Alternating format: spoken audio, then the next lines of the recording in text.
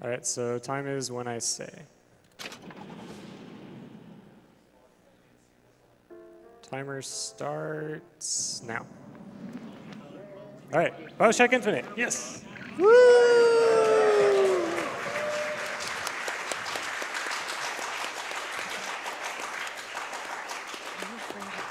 All right, so I'm Fearful Ferret. I'm joined by Zach SK on the left and Zimbabwe on the right. Uh, they both played quite a bit less than me, so they'll ask questions and I'll give answers. Uh, I'm playing on easy difficulty because it's fastest. Uh, there have been some runs on 1999 mode, but they're really tough to do, and I'm pretty bad at them, so I haven't tried very often. To just sit there, As compared to what? Standing? not standing, rowing. Rowing? The first fourth of the run or so is pretty heavy on cutscenes and doesn't really have all that many sequence breaks, but it really picks up after that. We skip a ton of cutscenes and elevators and such later on.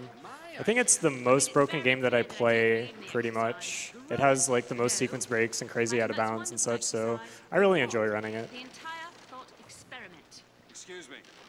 How much longer?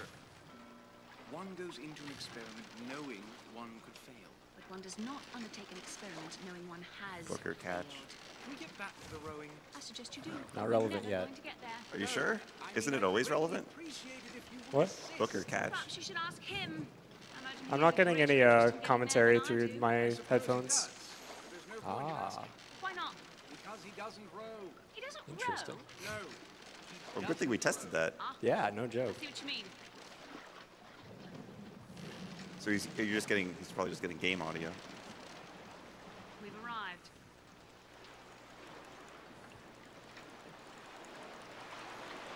So here's the lighthouse. It's sort of the canonical starting point for pretty much any Bioshock game, as is explained later on. Shall we tell him Hey. when we'll be returning? Uh, the Bioshock, the original one went down. This one goes up to the city in the clouds. It also introduces some of the themes in the game, such as DeWitt's uh, motive. I guess you're He expecting was supposed to rescue a girl and wipe away his debt. Is anyone here? Hello? It also has a talking uh, character, which is the first in the series, as you play a, a specific person whose name you know. Yep. I'm gonna need a little bit of serious time because this is the most difficult puzzle in the game. Card. We did it! Woo!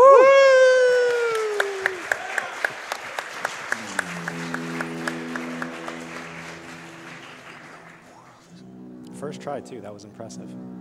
You normally hit like the key I- like a third time. Yeah, I've seen a lot of runners rage quit over missing the bells because it's so embarrassing when you miss it.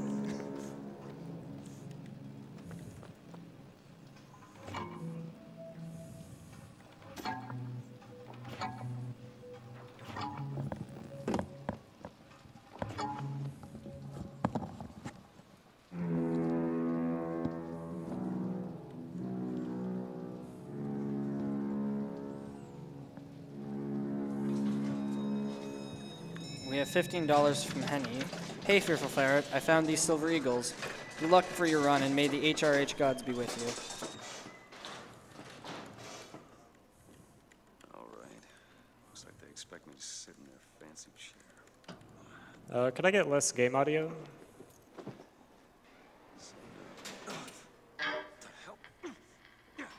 Make yourself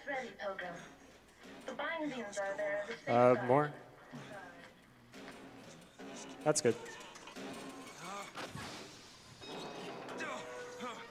So my chat calculated how many uh, G's Booker would experience during this rocket ride, and we figured out that if it has constant acceleration, he would probably barely survive. So this game is scientifically accurate. Wouldn't you be like freezing on Columbia though? Because it's like so high up in the air. Uh, I don't know about air pressure problems. There- there's were a quite a bit in this god. game that's hand waved. It's a game held together by quantum mechanics. Stop asking questions.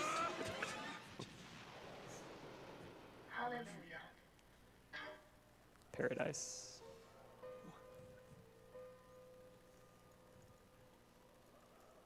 One of the few times you'll see the city and it looks good. Otherwise, it's be in complete chaos. Yeah, Rapture sort of starts in a dystopian state, but Columbia at least you get introduced to while it's still utopian and it falls down over the course of the game. Although the events that make it fall down are basically just skipped, so it sort of goes from happy to sad without any explanation in this run.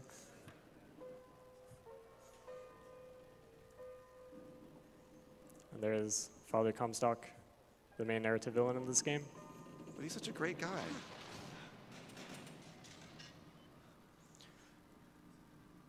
So there are going to be some words that we pass by in the elevator, and they're going to look really blocky and low res and stuff. Uh, that's because I play the game on very low graphics settings. Uh, the computers here at SGDQ are actually like really good, so we could play on ultra without any problems. But the lower the graphics are, the faster the game loads in a lot of places. So as with most most PC games, it's best played on low graphics.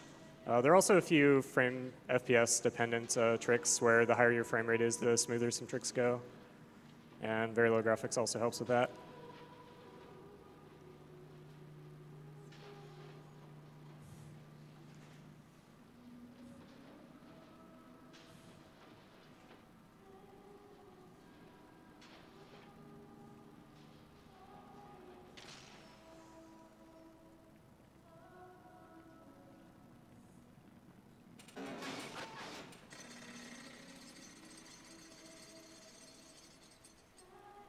We have $250 from Kori.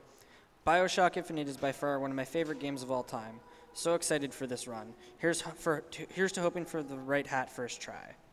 That's, that's an important bit. We'll, We'll, get, to, we'll that. get to that later.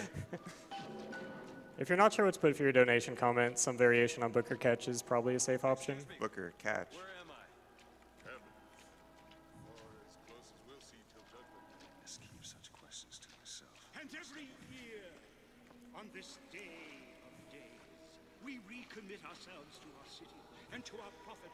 So baptism is sort of a recurring theme of the game. The first time you see it is in the lighthouse where Booker sort of refuses to wash himself, but here you're sort of forced to take the baptism. Uh, Preacher Witting likes to ramble on a bit, so you have a bit of time to just look around. Uh, this gentleman takes a particular interest in Booker, and his friend wants to join in. Brother, the only way to He wants to be baptized with you. through rebirth in the sweet waters of baptism. Will you be cleansed, brother? I know I've seen this cutscene a lot, but that's because I just watch you grind out this game, and you have to reset like 30 minutes in all the time. In the name of our founders and the name of our Lord.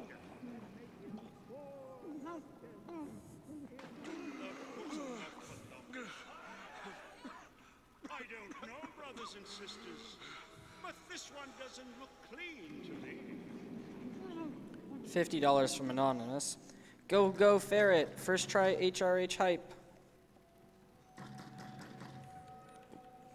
Boy, would love to see that 3% chance. That would be absolutely incredible. If he actually gets it, I would be actually surprised. Yeah. Uh, could I get like half as much game audio? There are a few audio cues in this game, but they're not all that important. Uh, still a bit less. That's good. All right, so we're coming up on basically the first actual speedrun strat in this game. It was fun when a good friend decided Sloth, who ran this game for about an hour and then gave up. But at least he found something, so It skips like 10 seconds to. yeah, there's a platform underneath me right now that sort of comes up to my level over about 10 seconds. But there's an invisible wall uh, blocking you off from getting there. But you can actually just jump around it and land down before the platform arrives. You have to wait for a certain audio cue because the platform starts out below the death plane, and the death plane basically respawns you back up from wherever you jumped if you hit it. So you have to wait for the platform to come up above that before you can jump on it. It's one of the few places you can actually take damage before like the game starts. Yep. So here we have to wait for the parade to watch by. So in the meantime, we can do some fun things like give this moment a seizure. She just really wants to see that parade, and you're just stopping her. You're. I don't even know.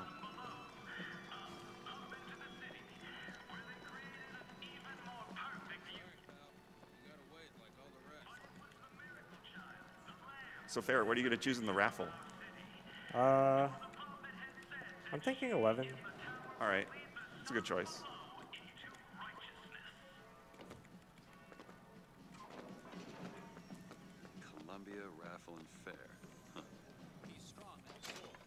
There's some places where I'll be just grabbing random coins and such from trash cans. Most of the time, it's not really all that important. Uh, we do buy some things about two-thirds of the way into the run, and that's basically the only use for Silver Eagles. But it doesn't take any time to loot containers, so I just get everything that's convenient. You mean you're not going to spend them ar- on arcade games? Sadly, no. Disappointing. Oh, they're just telling you not to pick 77. To your presence, Yep. You probably shouldn't. Do, do I, I will do my best not to pick 77. But yeah, about Silver Eagles, you might you might accidentally pick up some, and that's due to Elizabeth just throwing them to you at random times. All right, so coming up here is a pretty fun skip. It was the first major skip I ever found for this game, and it's nice that it comes so early. You can actually just jump on this sign and then go out of bounds. And then, And then the next area is actually over here in the skybox. It just hasn't loaded in yet, so you jump into it and it loads around you, and you just get past the entire raffle. and then normally this would be where people would be firing at you, but luckily you just walk through it safely. It's just a nice stroll through. Yep. Normally you're uh, forced to pick up the Devil's Kiss Vigor right now, but since no enemies spawn to give it to you, you don't have to. And we can actually pick it up later. And every time you pick up a Vigor in this game, there's an animation where your hands turn into fire or crows or something like that. But if you pick up a Vigor after you're supposed to have it, then that cutscene doesn't happen. You just pick it up without having to wait for that 20 seconds. So, yeah, there's like there's different places that along the route where you pick up like the the relevant Vigors, and you you'll see him pick up one in like a random house, and it's relevant because the cutscene is far less time to do it that way than to pick up the story element Vigor. Yeah, there's only one Vigor that we pick up at its intended point. because you have to. Every time I jump on a skyhook, I wiggle the camera around a bit, and that's because the game tries to lock your camera whenever you jump on a skyhook or skyline. But by, by moving the camera around a bunch, it breaks that camera lock so you can more quickly uh, jump to where you want to go. All right, so here's where I actually pick up Devil's Kiss, and there's no cutscene, so now I just have it without having to wait through the animation. And up here, there's a building that the police break into, and I shoot here to make them open up the door a bit early. And I missed the headshot. I'm pretty bad at clicking heads. Boom. Since I'm playing on easy, I don't really have to worry about random damage all that much, and there are plenty of health packs along the way. Uh, in some of the fights, there's a risk of dying, but in a lot of other places, it's useful to take damage to set up death warps. Yeah. He wants to be at a low a low health point, and there's going to be another. If he gets the item, which he will eventually, because he has set save for it, you want to be at like almost death because of the, the ability of the item. He's going to get it the first try. Death Yeah. warps have a lot of uses in this game.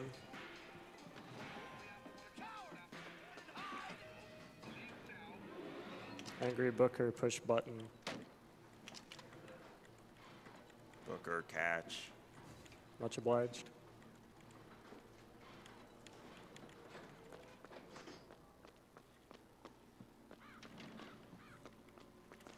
So coming up here is the first, I think, mandatory fight in the game, where you have to fight a crow, which is one of the uh, more powerful enemies than just the regular grunts you come across.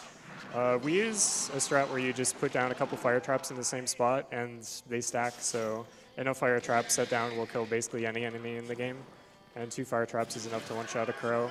So I place down a couple fire traps, look away from it, so he tries to backstab me, and he just uh, teleports into it.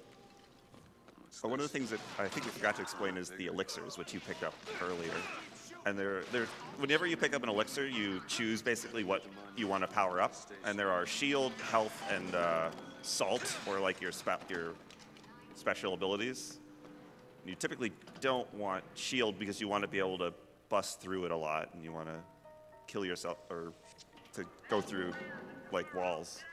So typically, the most important thing is is uh, salts, you do pick up the other ones for other reasons. Excuse me. No need to be so rude.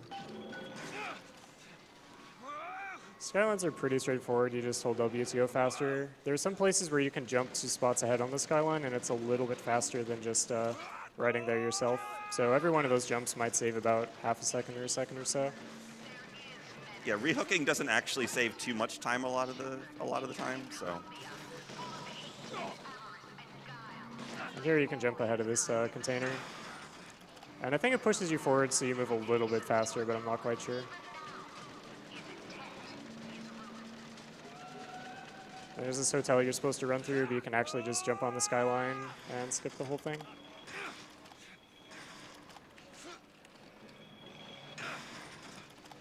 And a couple more jumps. We get to our first face-to-face introduction with uh, Comstock. This is the first time you see uh, Comstock, or at least somewhat. Yep. Uh, I think we have time for some donation comments. We have $20 from Slurpee. Staying up to see the gaming god Ferret. Make quantum physics look silly. Also, shoutouts to the GDQ board game crew. Games? Wish you were here, Slurpee. Fearful Ferret, a gaming god. And now. We have $20 from Dream Spider. Bioshock Infinite is one of my favorite games of all time. Happy to see it run. Love all GDQ events because it shows how much the gaming community can come together and support a great cause. Putting this money towards the Luigi's Mansion race so I can see my favorite speedrunner Fifi play. Oh, and also kill the Embers. Because I have seen their future in the glory, and hence they are content. $20 from Jill Sandwich 139. Bring us the girl and wipe away the debt. Greetings from Brazil. That will, that will certainly happen It, it will. somewhat. Soon. That was well timed too. It was. If you try to interact with anything while Booker's nose is bleeding, it crashes the game. Uh, in most places, you can't do that, but there's one skip much later on in the run where if you just run to the next area really slowly, then the nosebleed happens at the same time you try to flip a switch, and the game just crashes. So the solution to that is don't be slow. Gotta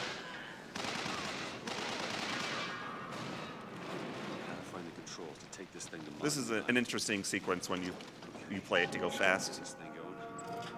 The Lord forgives everything, but I'm just a prophet, so I don't have to. Amen. Amen.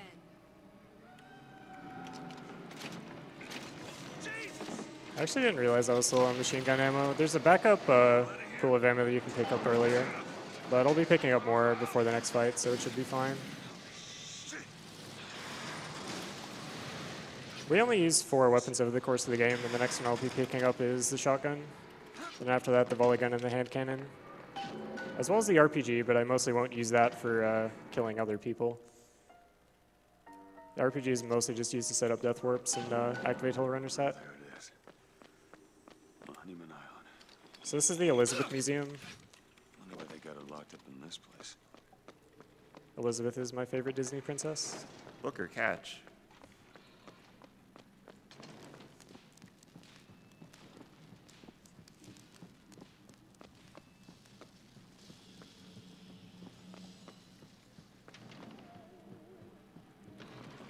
So there's another infusion stash by back here. I'm going to use salts. The rest of the infusions will be split between salts and health because uh, whenever you pick up a health infusion, it refills your health to full. There are some spots where it's useful to get that. Shield is just never going to happen because he needs to burn through it quickly. So Yeah, for the speedrun, shield is just a downgrade, so it's possible to pick it up by accident due to the way you select the vigor because the game auto selects health as like the place where your cursor starts. But if your mouse happens to be over one of the others, then your cursor will instead default to whatever your mouse is on. And I pick up the vigor or the infusion too quickly to actually like visually confirm what the mouse is over. So sometimes I pick up the wrong one by accident. a lot, a lot of the sequence is just uh, cutscenes from here on out. So I think if there's time for donations, this is a this is a good time. We have $50 from the Silenced Man. Hey everyone, bring us the money and wipe away the cancer. Bioshock Infinite is a favorite of mine, so I find it best to donate when it's being run. Break a leg, Fearful Ferret. The gaming god. $20 from Anonymous. Finally get to see my favorite game being run here at SGDQ. Good luck with the run. Thank you.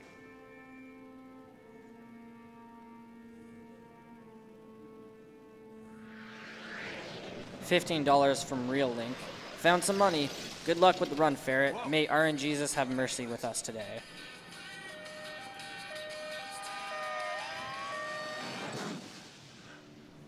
$10 from BioKurt. Booker, here. Throws coin, throws salt, throws kitchen sink.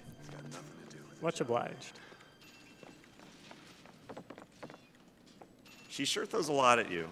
She does. She generally throws what you're low on, and she throws coins whenever you uh, search a lot of objects and trash cans and such, just because it's the appropriate time for you to find money, I suppose. Um, there are some quite a few places where you have to depend on her throwing the right thing, and sometimes she'll throw ammo for the wrong weapon or something like that. Or it's possible to drop a weapon, and then she throws you ammo for that weapon. So when she throws you ammo, you actually replace whatever weapon you just picked up, and that can be kind of disastrous. So you have to be careful with uh, what you accept from her. And sometimes if you're hitting the wrong button, you accidentally pick up what she's throwing at you. Hey! Knock it off! Stop it! Will you stop it? Not here to hurt you. $50 from Ast- Astronomifer. Hey, Ferret, you probably don't know me, but I see you all the time on the Monaco leaderboards. Your godly times make me jealous. Monaco is a very good speed game. Just gaming god things. I'm a man of many talents. You, you've got to go. Why? You don't want to be here when he gets here. Just a minute, I'm getting dressed. We have $50 from Nick3. no way out. Been looking forward to seeing a this. I'm Bioshock here Infinite run, and glad to see it finally in a GDQ lineup. Awesome stuff so far. Keep up the good work. Great work. What are you? Give it to me.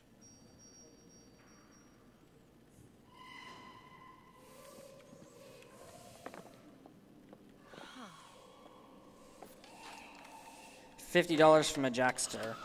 Obli- obligatory comment about this being my first GDQ. And hype for one of my favorite games being run. I hope you can handle those handymen better than I can. Kill those animals. I'm a ferret. Save the animals, come on. Alright, so in this area, the ground shakes periodically as Songbird uh, rams into the tower. It happens at consistent times, and if you jump right before Songbird hits the tower, uh, you won't get any slowdown. So I use a You can even be faster set of, I use a set of audio and visual cues to know uh, when the right time to jump is. It's still pretty hard to get because the game doesn't explicitly tell you when it's coming. Those are pretty good jumps. There's one last one here. Fortunately, I managed not to get around this corner, so... Okay, there we go. Yeah, you can you can go faster than Elizabeth, which you're not supposed to be able to. There's two times where basically you're chasing with Elizabeth, and you shouldn't be faster than her. This is one of those two times. What is all this? They were watching me? All this time. We have $50 from Hans Olo. Why did they put Would you kindly here? accept this What donation? I? What am I? You're the girl who's getting out of this tower. Ah! Ferret, what has science done? I actually pushed Elizabeth out from where she's supposed to be, so she's supposed to be pushing up against the wall right here, but she's just sort of out in the middle of nowhere. And that right there is the one time an elevator is actually useful in this game.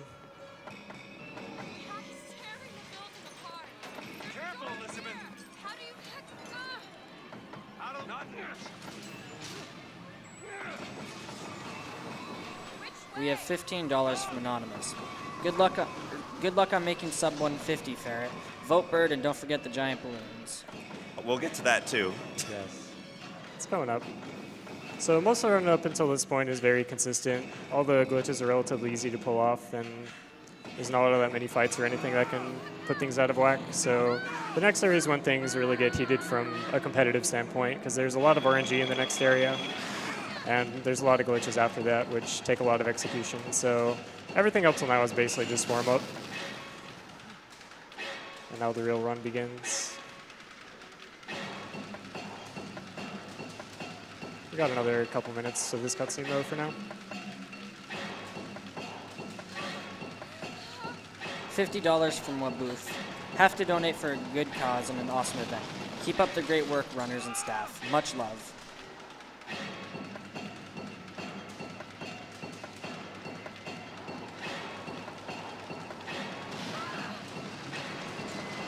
$50 from ARE. I've been trying to tune in as much as I can due to time zones, but what I have seen has been incredible. All of the runners have my utmost respect. You guys are incredible. Keep up the good work, everyone. Take care of yourselves.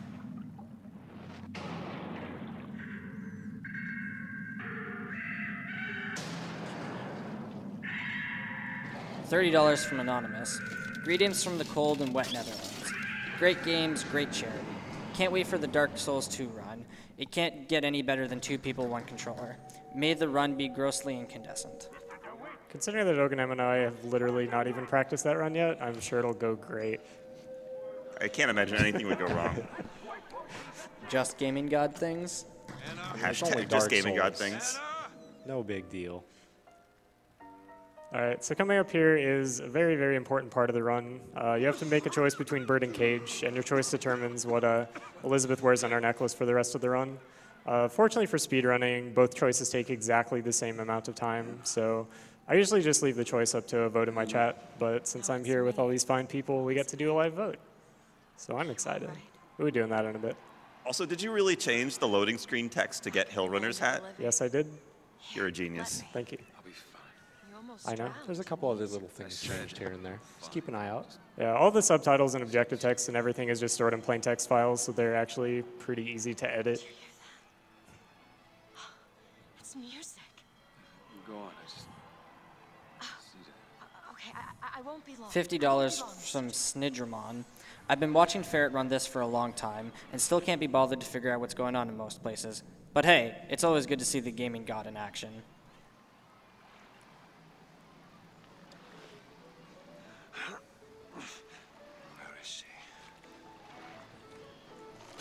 $50 from Mazeo the Killer. Is it someone new? This is my first time donating to a very awesome charity. The Bioshock franchise is my favorite of all time and needed to send some funds its way. Thanks for hosting this fantastic event. All right, it is time to vote. We're going to vote by a show of hands. First bird, then cage. And my commentary crew will help me along. All right, so raise your hand if you vote for bird. Miss. Miss. Elizabeth. Wrong choice. Raise your hand if you vote for cage. I don't have to count. All right, Cage's the winner. wins. You're, your guys are, you guys are correct. That's, that's the right choice. Cage is objectively the best. Unfortunately, when I got my world record, it had bird, which is a mistake I would love to rectify. That's where that airship's going, but if you want to stay and dance, we can. let's go. Come on, let's go. Come on, let's go right now. We have $60 from Paradox X76. I love GDQ. Thanks to everyone involved. Can't wait for the Super Metroid race. It's going to be fantastic. Oh, and disintegrate those animals. Mr. DeWitt, calm down. All right, so the choice is coming up here. The Luteces present Elizabeth with the uh, pendants, and then you, you help Elizabeth to make her choice. They're right there, but I'm gonna be up here for now. Booker, catch. Look at this. Or the cage. So there they are. There they go. Nothing beats the cage.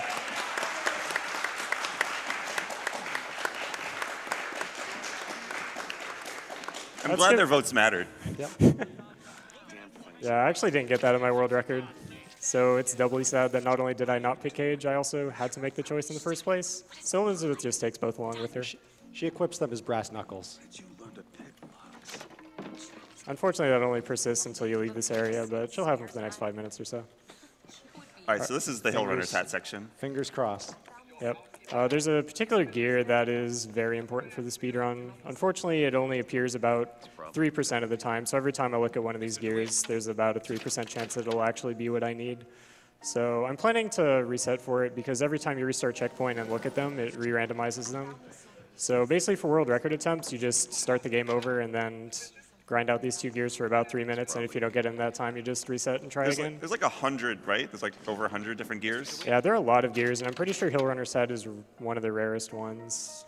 It's, it, it gives you essentially a speed boost, which is why it's required for parts of the speed run. So it used to not be like mandatory, but now it's like you have to have it. Yeah, for the purposes of this run, I've set up a practice save or a safety save. So if I don't get it within the next maybe like two resets, then I'm just going to continue with the run and load the save with Hill Runner's Hat, so we don't have to sit here for 20 minutes. A, a big thing in his chat is uh, guessing how long it's going to take for, for this to happen. Always vote high. If you vote too high, then I will just reset before I get there. So don't be too pessimistic about it. Uh, both my world record and uh, Henny K's run, which is the second place time, got Hill Runner's Hat first try without having to reset. So trying to set a new world record in this is particularly difficult now that uh, most of the RNG went the right way for it. All right, this is going to be the last reset for it.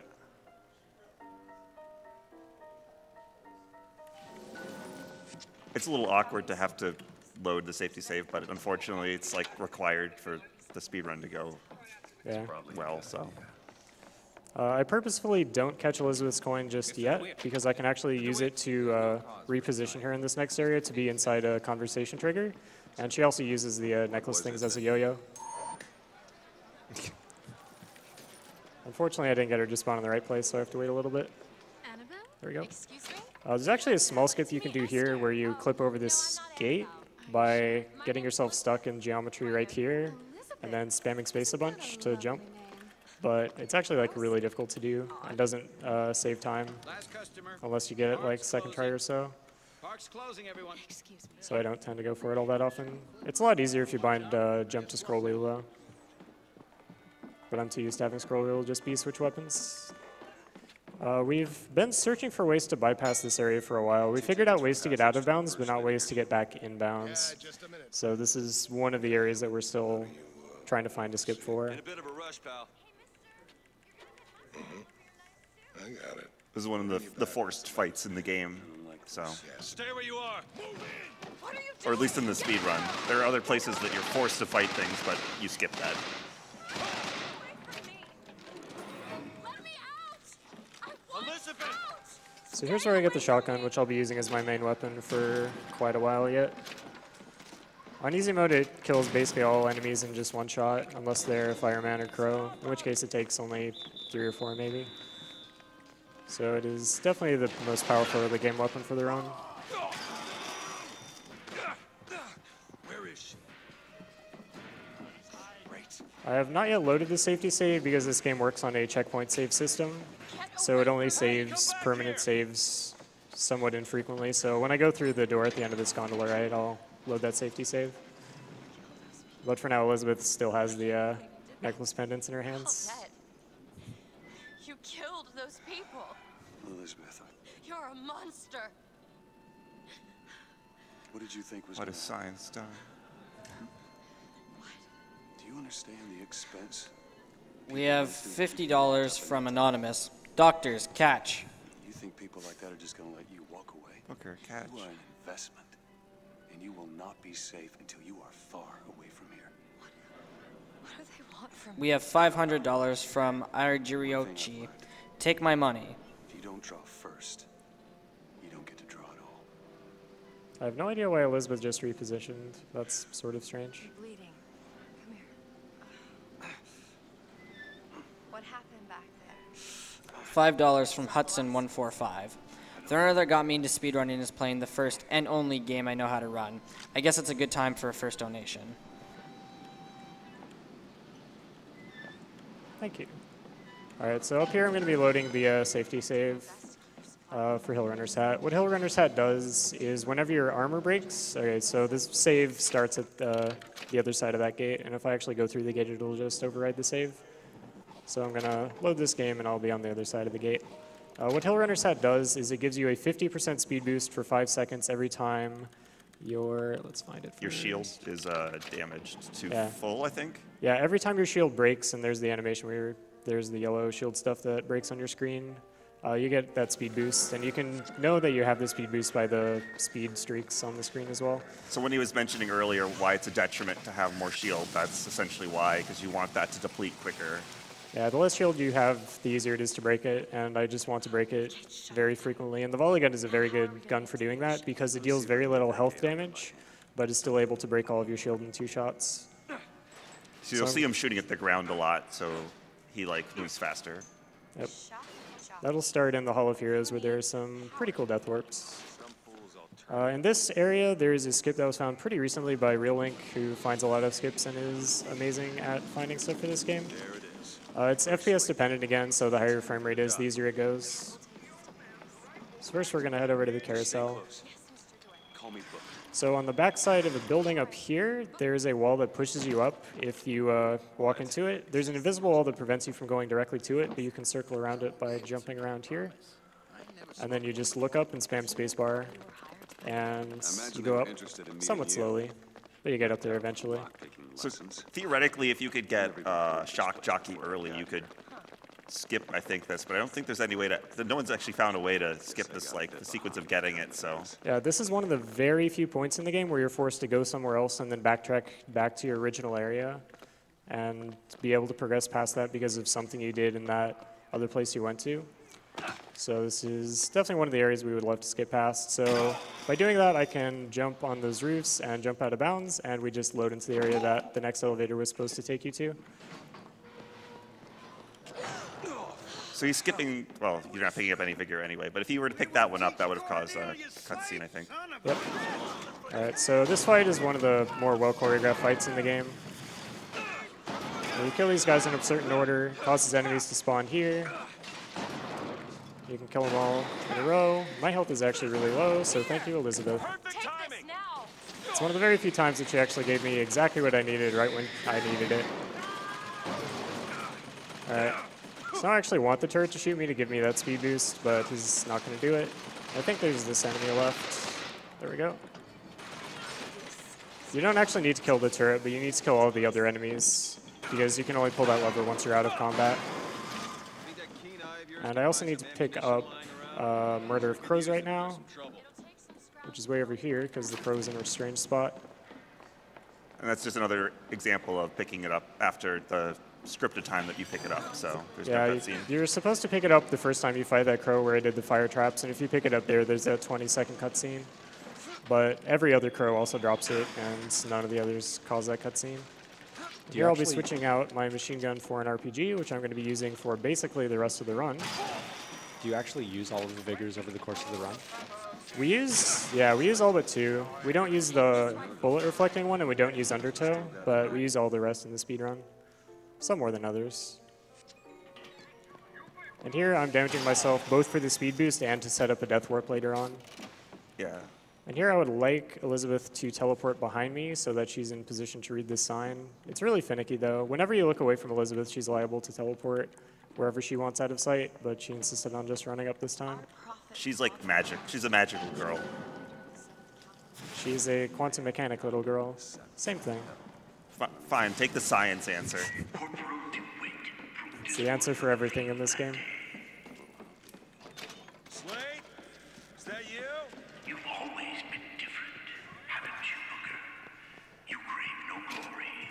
I see you're caught up in some kind of jam here. If you could see fit to let us through to where they keep the shock jockey, We have $50 from the Ferret King, donating, donating to my namesake. Ferrets rule. War dance your way to victory, fearful ferret. My wife is vegan. Save the animals. Yay. Yay. Here's another mandatory fight, but it's pretty short.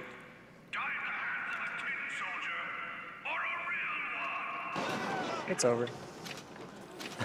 That was a nice fight. That went pretty well. Yeah, I'd say so. Sometimes the last guy isn't in the shotgun blast, but this time he decided to be nice. And here's where you pick up Bucking Bronco to skip the animation. Unfortunately, that right there just had a health kit, which I didn't look for before I picked it up. But I think I can still set up the suicide in a reasonable time. All right, so that takes my health down, which gives me a temporary invincibility shield, which should wear off about now. Uh, and by death warping through this door, I respawn on the other side. Your dead body can uh, go through a lot of objects, including doors, and your respawn is determined by where your body ends up and not where it starts. So by doing a death warp through that door, I get to respawn on the other side of it. I need to spawn, run back there to get those soldiers to spawn because I need them to open that door for me. If they don't spawn, then that door just never opens and you soft lock. The the death war- or the death warping thing is essentially your body doesn't have a hitbox when it's dead. I think is the explanation I've heard. Something like that. So coming up here is a skip that requires Hill Runner's Hat to do. It's actually pretty tricky, so I'm going to concentrate for a bit.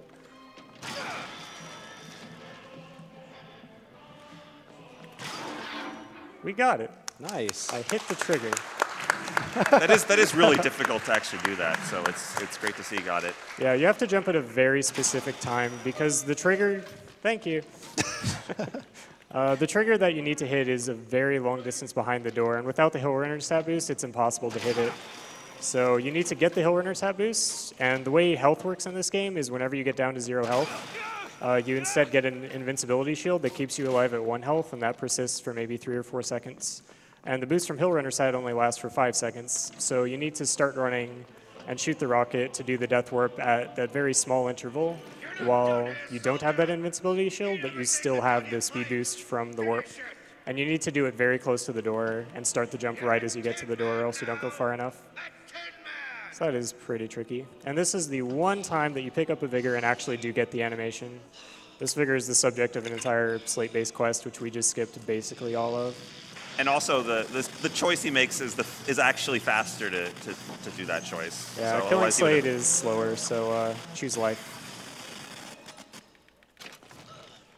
For a lot of dialogues, including the one that pops up there, which is the tutorial dialogue for Shock Jockey, there's a very, very small window where you can press enter to skip it, and it just never pops up in the first place. I've gotten that a couple times, and it saves maybe like a second each, if even that. So basically, whenever you pick something that would cause a pop-up, you just mash on enter and hope it skips. You've seen what Comstock has done to my history. Now see how he's rewritten his own. I cannot hear Zimbabwe. Can you I'm hear here. me? I can hear Zach. Hello? So Zim, I'm sorry if you've been talking. Can you hear me? From background, but not through the headphones. Ah. Also, my game audio is kind of loud, but I don't know if that's something you can adjust.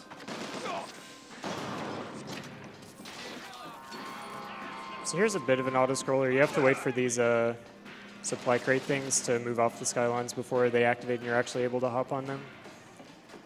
But you can cut it halfway and just jump down here, which saves a little bit of a skyline ride.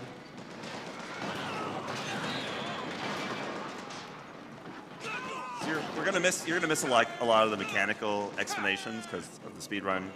So like that's the first time you, you pass a tear, which will he'll use in the auto scroller section essentially.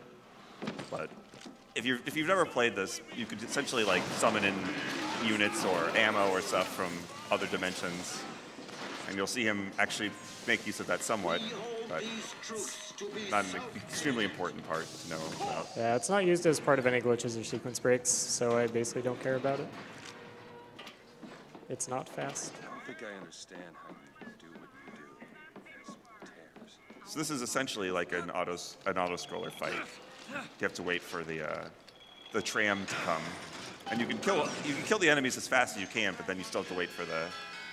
Yep. The Now that gondola. I've pulled that lever, that gondola way up there is going to start moving very, very slowly. So I have a bunch of time to waste. There are a few waves of enemies that come in, and you do need to make sure to kill all of them. So the speedrun strat in this part is just to fight in such a way that the enemies will always consistently come to you, so that you don't have to chase them around everywhere, because they can run away from you and use the skylines to really make your life miserable. Let's see if you get a good gear here. I usually don't even check it. Melee strike range increased by three times. Considering melee is terrible, let's not bother. So now the barges start coming in with some rocket enemies.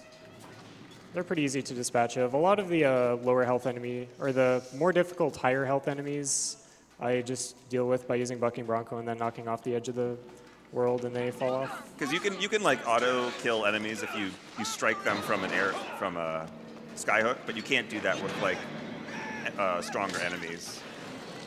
So it's like an auto kill, so it's really efficient at dealing with strong enemies. So that's Yep. why he's doing it. So he's gone. Goodbye, cruel world.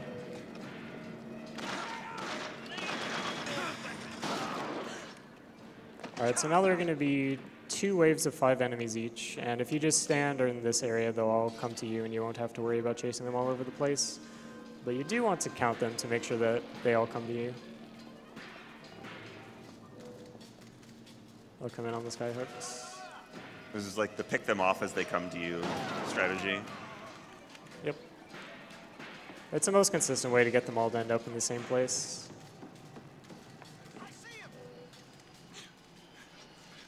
Feel like there's a guy somewhere. There they are. Booker, catch.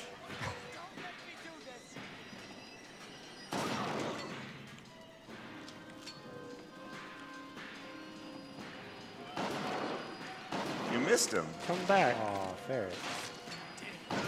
I'm not good at clicking heads like you, okay? I'll teach you. It's okay. All right, so this starts the second wave of five enemies.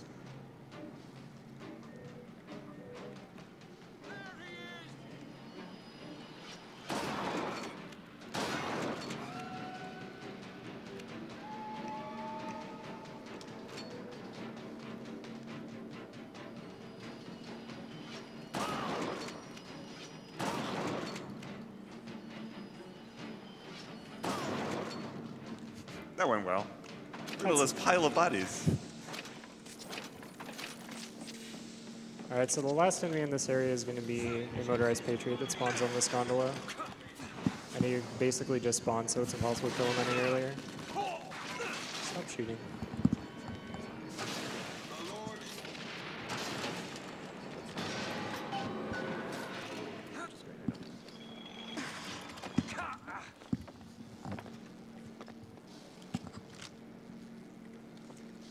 Gondola is almost here. It has an invisible platform that extends a little bit beyond what you can visually see, so you can jump a bit earlier than you think you can. And it also has that enemy which you took care of. Yep. It's done. When I uh, activated Elizabeth to open that lock, I was looking towards the door, and I wanted to do that so that she would uh, spawn behind me as I activated the lock. If she's ever in your view, she won't teleport around. So if she's in your view as you uh, order her to lockpick that door, she'll wait for the gondola to dock before opening it. And that can lose quite a bit of time for no reason whatsoever. She's Schrodinger's girl. Fine thing you came along. And here I'm setting up another death warp. Uh, you can get off this gondola without actually docking and having the door open by uh, death warping and respawning at the platform that you actually arrive at. So I want to set it up, and then I wait for a visual cue where uh, this bar right here is about at the halfway point between that light and that railing. And then Elizabeth respawns you on the dock that you're moving towards, and you can still see the gondola coming up to it. You were on that. I was. Now I'm not. Quantum mechanics, baby. Andrew Booker. So, looks like they call you the false shepherd. And you, the lamb. Let's not call each other that. Suits me.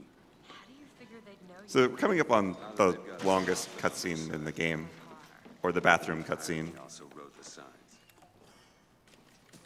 Got me. Hey, it's that wrench from that game. That was a good game. All right?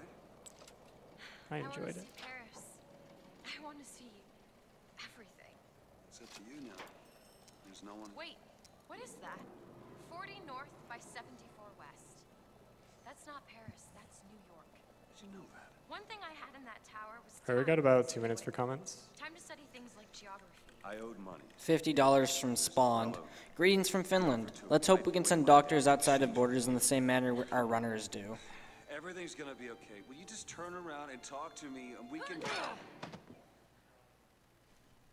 $50 from all R. Lettuce. Donate, donates, donated, will donate.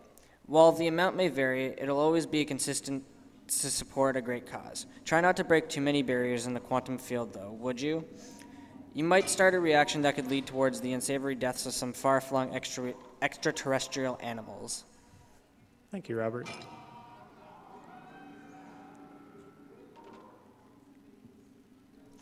$15 from Big Sis 25. Good luck with your Bioshock Infinite run. I love this game. Glad it is being run. Vote Cage. That ship, I think, is uh, sailed by now.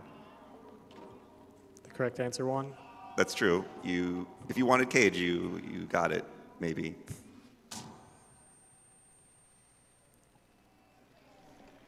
$50 from Talsaraz. First time attending a GDQ.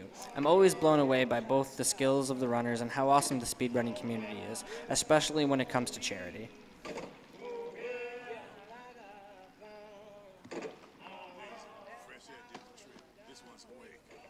So you're this false shepherd we've been hearing so much Hi, it's Daisy. Caused a mess of trouble after raffle. We'll see her once more. Yeah, during the when she's behind the glass, right? Yep. And that is also the only time we see or speak to Fink. I got perilous need of it. Really? Because it sure look like old Comstock's airship to Pretty much the entire Fink Daisy storyline is skipped in this run. You never get her guns. You never do all that weird quantum stuff. We never go through any of those tears that is supposed to destabilize the world. pitiless man. But if you believe in common folk, then join I think you're destabilizing the game pretty well, so. Folk. Then join I, I do enough to break it. and the Vox shall give her to you. But first, you must help the Vox. like to take, take this time to thank our sponsor Humble Bundle. Hun- Humble Bundle offers pay what you want bundles that support charity. It offers video games for mobile, ebooks, comics, and the Humble Store. Humble Bundle has raised over $61 million for charities such as Doctors Without Borders and many more. You can go to their website at www.humblebundle.com. All right, so now we've made it to the Finkton Docks. Uh, Are you a worker bee? Bee the bee, the bee. Unfortunately, we recently found a way to skip the entire Fink thing where he does the bee the bee speech, which is the worst part of that skip, but we'll make do. So coming up here is a section where you're supposed to chase Elizabeth, but uh, you can get, you can Liz- catch up, Elizabeth starts chasing you. pretty much. There's actually a way to skip past the store, but I'm pretty bad at it, and if you mess it up once, then it just loses time, so I'm not going to bother. I think it's the most recent skip found. The only the only reason you can be faster than her is because of Hill Runner's hat. Yeah, you can do a lot of things. Well, she decided to run into a barrel there, so I didn't actually need it. So she's behind me, and now she's in front. And then she skips a little bit.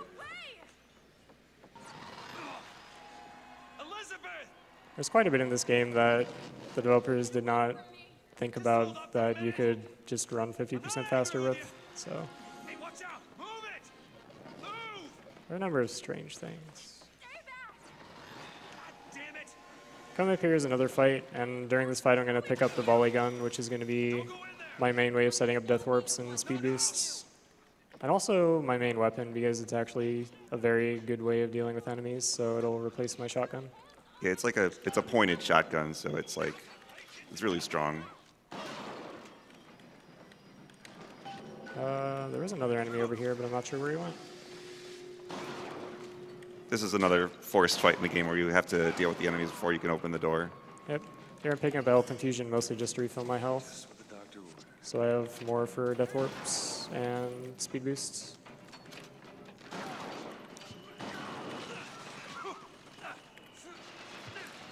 So the uh, camera lock is a terrible thing. This enemy is a dude with a volley gun, and it's actually possible that uh, the volley gun falls off the barge after you kill him. So I have to be very careful to make sure it doesn't. And my record, it actually did fall off, and I had to stay with the shotgun for another 10 minutes or so. But fortunately, we got it here. There's still one more enemy somewhere, and I'm not sure. Oh, two. Interesting. There we go. And you can open the door. Yep. The enemies all congregate around this door at the end of the fight, so you don't have to walk around hunting. You just wait for them to come to you.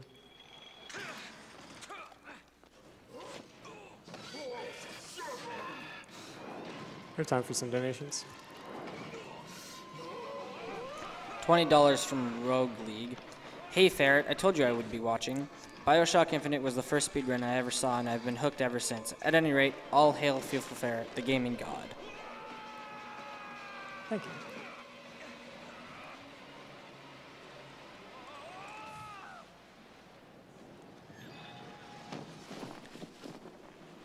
Greetings from Kyoto.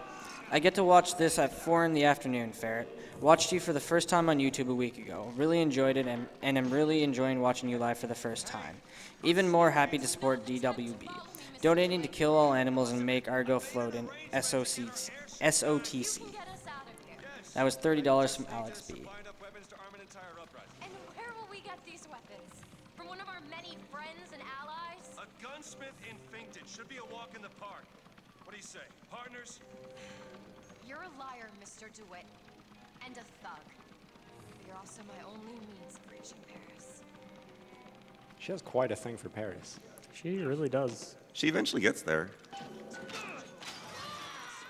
Here I'm going to pick up a damage upgrade for the volley gun, which both helps with uh, killing enemies and also speed boosts. So volley gun is just by far the best weapon in this game. Hmm, Usually I use a rocket to kill these two enemies, but I'm out of ammo, so we'll do it that way. There's some enemies that spawn up here during this next fight, and you can set up a fire trap to uh, kill some of them. If I had enough salts, I'd set up two, and that would pretty much guarantee kill all of them, but unfortunately I didn't have enough salts because I used too many in the last fight.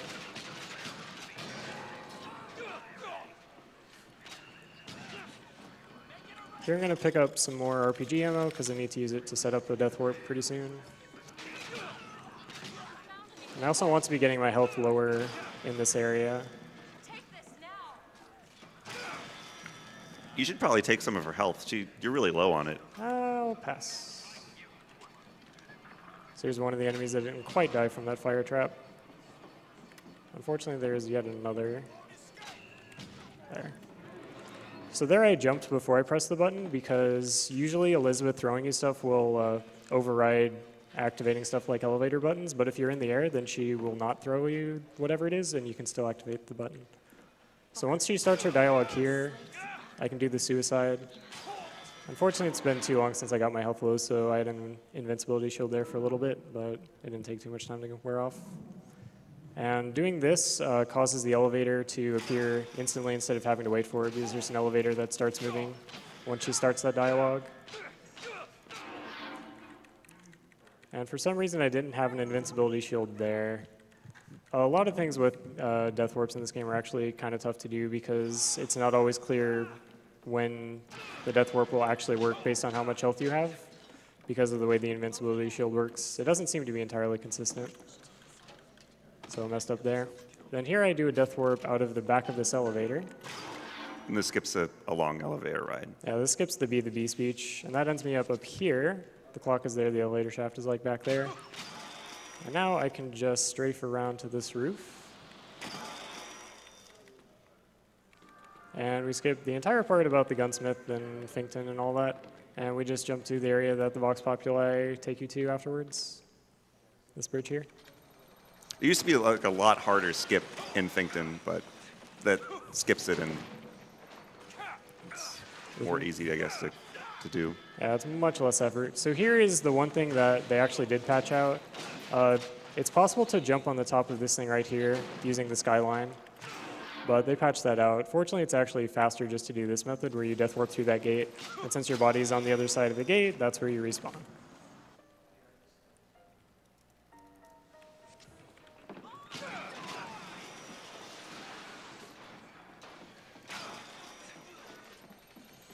And again, I'm shooting the ground below myself every time my armor comes back to maintain that 50% speed boost.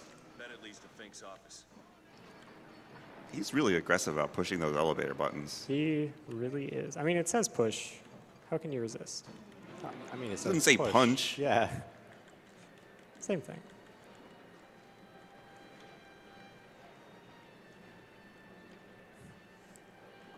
Time for some donations. We have $50 from MadX16. Greetings from Italy. It's 9 a.m. and I'm starting the day studying very hard. Bioshock Infinite is my favorite of all time, and you are just awesome. Thank you for what you're doing for charity. Hey, it's incredible to see 90,000 viewers in every period of the day. They're just right for each other, aren't they? Who? Fitzroy and Comstock. I wonder how many people are watching you play Bioshock Infinite. More than ever have before, I dare say. I certainly would wager that. Mr. Lin? My God, I, I was so set on getting to Paris. I didn't really think that You couldn't have known this would happen. I had a role in this catastrophe. If, if you want to pretend that we're purely innocents in this, then that's your prerogative. I'd like to take this time to thank the Yetee, another one of our sponsors. The Yetee is today's tee for your torso, supporting Games Done Quick events with tee since 2012. $3 from every $11 tee is donated to Doctors Without Borders. Special thanks to the, some of the amazing artists who donated their amazing talents. Special thanks to artists Mark, Carrie, Cassie, Tanya, Logan, Drew, Tiffany, and Nina for donating their artwork. story to tell your children. You, you just complicate the narrative. Coming up here is the factory fight. It's another mandatory fights in the game, and it's the first and only time that you have to fight a handyman. Fortunately, you get a crank gun for the handyman, so he's not too tough to deal with. It's fights like this that make easy difficulty much, much easier than the others. This is by far one of the most difficult fights if you try 1999 mode. On easy difficulty, fights are more about predicting enemy spawns and knowing in what order to kill them, and not so much accuracy or anything silly like that. I know we mentioned like how, how difficult 1999 mode is. You want to go into like why it's why it's difficult, or I mean, everything kills you in about three hits. Like the strat for this area, particularly for killing the handyman, is you stand next to the vending machine, and every half second you activate it and buy more health because you're taking damage so dang fast.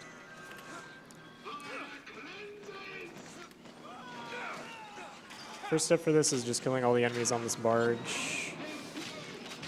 Bucking Bronco makes enemies vulnerable so you can deal damage to them a lot faster, so it only takes two volley gun shots to kill that fireman, where it would otherwise take maybe four or five. Here I'm going to grab this crank gun because I'm going to use it to take out the handyman a bit later. I'm also not going to grab salts from Elizabeth just yet because I'm going to activate Elizabeth to throw me the salts after I've already started killing the handyman. Uh, one cool trick you can do with Elizabeth's throwing you stuff is that whenever you reload a weapon and grab something from Elizabeth, it skips to the end of the reload animation so it just instantly completes. So I don't have to wait through the rest of the crank gun animation.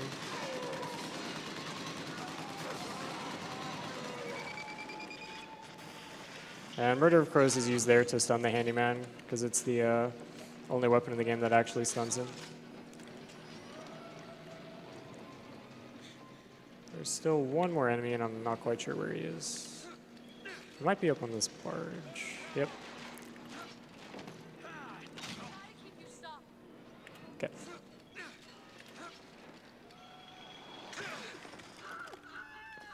Hi, it's Daisy. For the second time.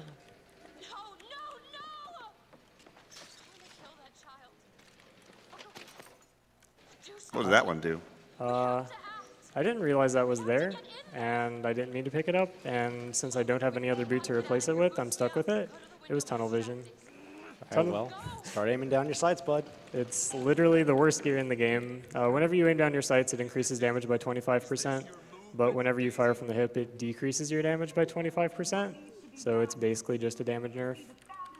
Unless you aim down your sights. So we are now playing on hard mode.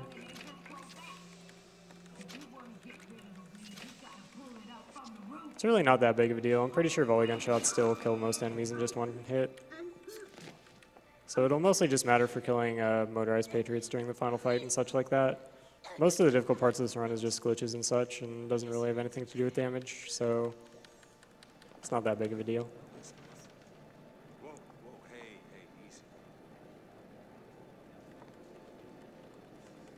Rude. That's just rude. Rude as.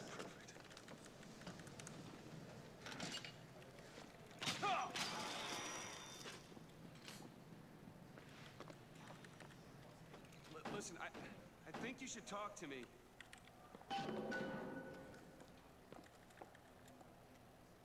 Time for donations.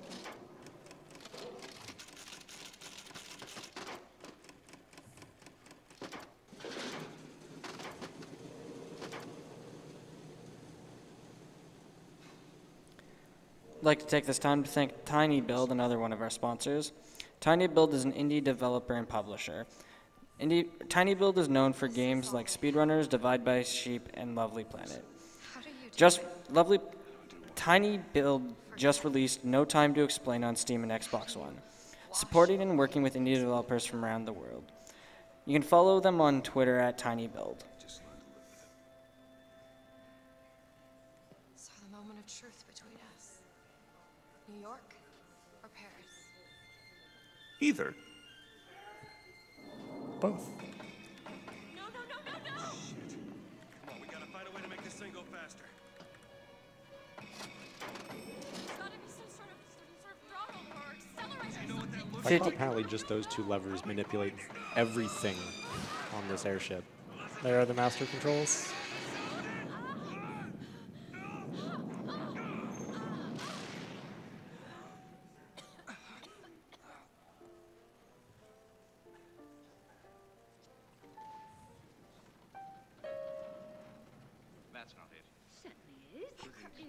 $55 from Anonymous.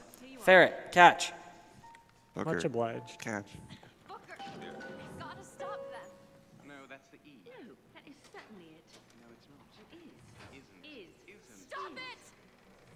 $30 from Anonymous. Loving this SGDQ so far. Heart. There it is. You've done it now. He's, he's coming back. He's coming back. The notes were correct. The instrument was not. One needs both to get his Fifty dollars from Anthony one eighty four. You guys are always exciting to watch, and I'm happy to donate to a good cause. Here's to seeing some Dark to- Souls 2 jolly cooperation. Praise the sun. So Comstock uses these songs. Well, there others we can use? Something to keep the bird off our back? Perhaps you should ask the maestro himself. So where is he? They left the piano. Well, at least they left the piano. So coming up here is a fight that you're supposed to do, but it's possible to just skip around the trigger. Yeah, you, you basically uh, jump on a rail around a railing and you skip the trigger for the event, and you just get just this nice stroll through the park. Yep. So you're supposed to walk across that bridge to my left, but by just running around here, nobody shows up. And there's things you can summon, but why why bother? Exactly. Did you take a look at this log? It about that song that brings in the bird? Unfortunately, I'm running low on volley gun ammo, so I'm going to do a small backup strat where I buy some more here.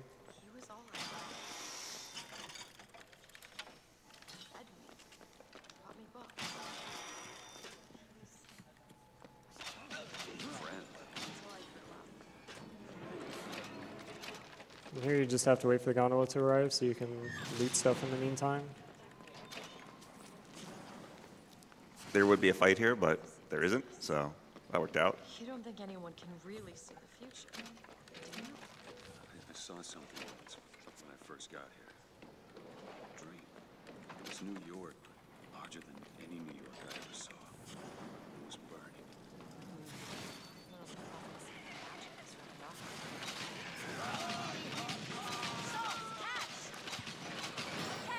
Booker, catch. Take a look at this. Where is she? Oh. Essentially, you can't command or you can't have her do lock picking when you're in a fight, and you can't open doors when you're in fights for the most part. So that's why you have to do some of these forced fights. I just realized who those two are. They, well, at least she, invented the technology that allows the city to float. Giant balloons. Quantum particles, suspended in space-time at a fixed height. So, not giant. I'd like to take this time to thank Twitch, another one of our sponsors. SGDQ 2015 is streamed entirely through Twitch. 100% of all subscription revenue goes straight to MSF. Twitch is the biggest live video broadcasting platform and community for gamers. I was going to have told you they come. No, that's not the subjunctive. I don't think the syntax has been invented. It would have had to have been. Had to have had. They seem to want to help. They seem to be out of their minds. Odd, isn't it? What's odd? The fact that we sometimes. Finish each other's sentences. Exactly. It would be odder if we didn't. We have ten dollars from Ricardo. I know it ain't much, but I'd love to do give anything I have to this awesome community and to the cause. Also, Bioshock is awesome. Shout out to my great and best friends watching with me, Ruas, Ian, Rodrigo, and Katuba. So we're going to be doing another Death Warp coming up here, and the purpose of this Death Warp is a bit different than most of the other ones. Uh, here I'm going to be buying Possession, Charge, Possession Aid, and Devil's Kiss Boost. Devil's Kiss Boost just increases its damage to help me with some fights later on. And Possession is going to be used once uh, at the final fight to help kill an enemy a little bit faster. And Charge is going to be useful for a few skips and just some general optimization because charging the enemies is pretty fast.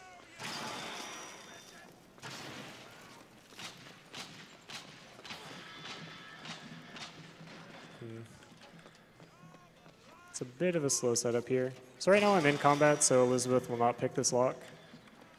But if I death warp to the other side of the gate, If you did that, other side, other, the other side of the gate. the, dang it. So that's just, uh, my health got low later than I wanted it to, so it was unclear when my invincibility shield would wear off.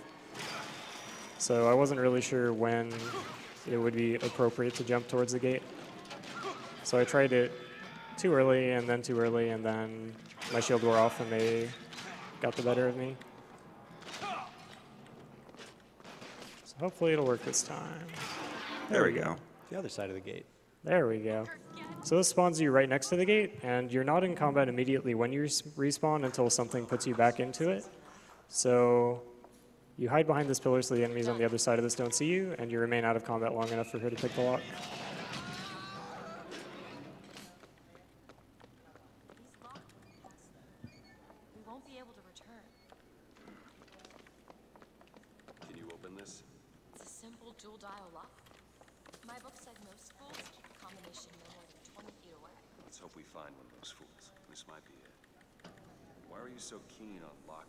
$30 from Fantastic Mr. Socks. Booker, Punch, The Elevator Button. I never watched many first person shooter runs before, so this is a bit of a new experience. I'm having a lot of fun. Keep up the good work. Oh, and let's see some jolly cooperation. Twice the players means half the deaths, right? I'm sure it works exactly like that. Where have I seen that combination before? I can't quite remember.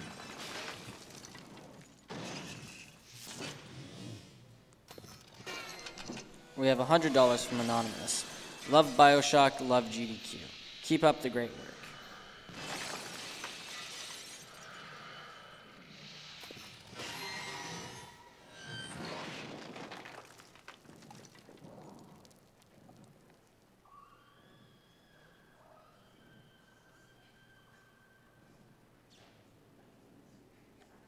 Elizabeth.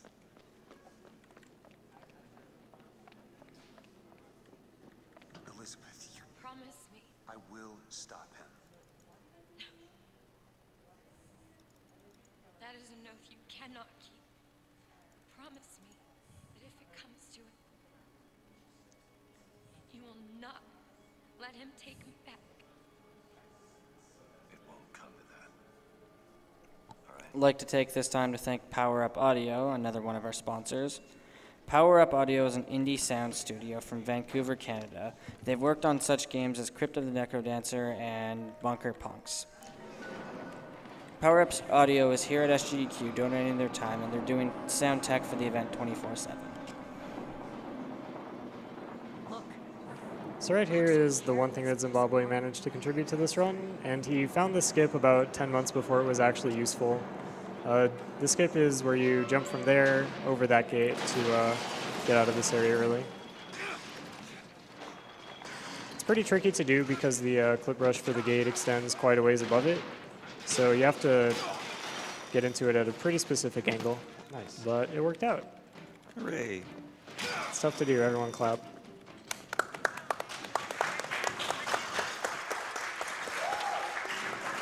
Woo. Thanks, friends. Yeah, unfortunately, when I found that, you were stuck in combat and the game was soft locked. So, go me, I guess. Yeah, now I'm stuck in combat for basically forever. Even if you exit to the main menu, the combat music will still play. So you literally cannot escape. Fortunately, the way we found to skip this bit up here does not require you to be out of combat, where before it did. The so skip. all is well. The skip. All right, so this is Comstock Gate Skip. It was found about two months before we found a way to make it actually consistent, and it is basically the biggest skip in the game. So right here, I'm going to run along a specific path up to this gate, and then I did not reload my rocket launcher. So we're going to try that again. So Yeah, this is a huge skip. We're going to run through there, which resets my respawn location, and we're going to do that again. All right. So running through this path uh, forces my respawn location to be set behind the gate right where my body is landing right now. And there are basically two respawn points in this game. One is this location where you go to if you die, and the other is the respawn location that you go to whenever you fall off the map. So if I were to fall off the edge of this here, I would respawn back on the ground. And now I have to play the floor as lava so that that respawn location does not reset, and then fall off the map close to where that location was set, and we respawn behind that gate and go to Comstock House. So shout outs to Stoic Squirrel for actually finding that skip, which was a ridiculous skip that we were looking for for months on end. Yeah, it And- saves like a two two gigantic fights and like a huge amount of backtracking. Yeah, even speedrunning through that area takes about 15 minutes, so that skip saves maybe 13 or 14. And then Real Link found the uh, consistent way to get it, which is by setting the respawn point that way. We found lots of other ways where you would uh, clip out of bounds and go to the Bank of the Prophet, only you're on the roof of it out of bounds because you can jump onto it if you go out of bounds from that area. And it was just a pain trying to jump at all possible walls and death warp and all sorts of places, just finding ways to get to the other side of that gate. So that skip was a pretty big deal and completely obsoleted everybody's PB when it was found.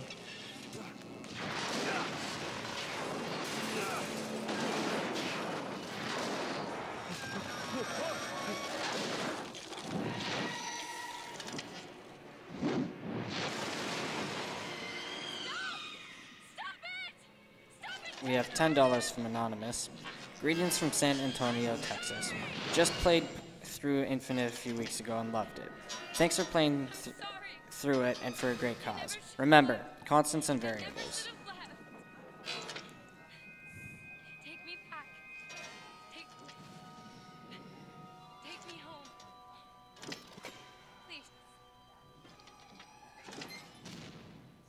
So I made a note to Elizabeth saying that I would not let them take her back about five minutes ago. I'm not very good at keeping promises.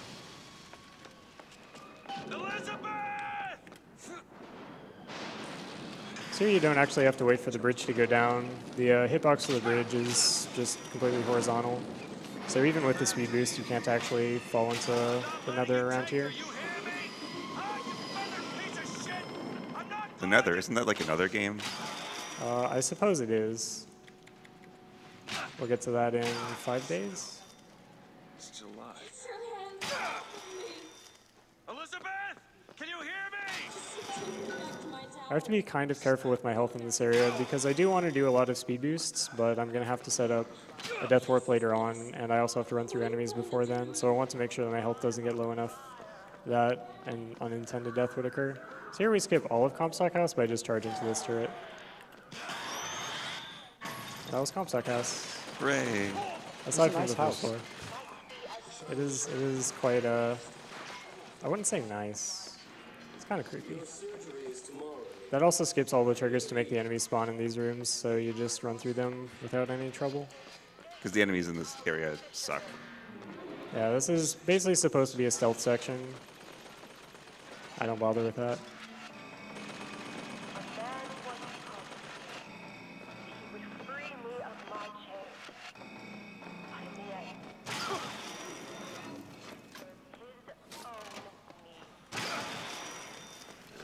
Prepare to get spooked. Should be able to head That downstairs and resolution, get though? Elizabeth now.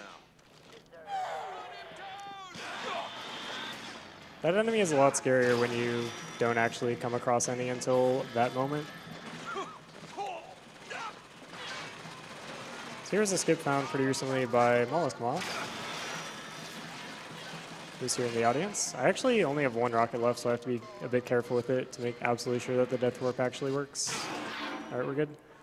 So when you respawn here, you respawn down where the elevator arrives.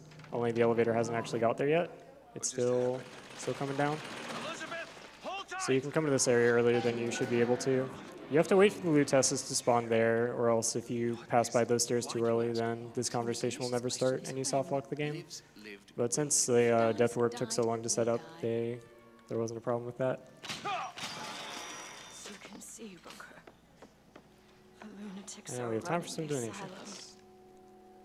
They don't even Who's listen that? to me anymore. I wonder.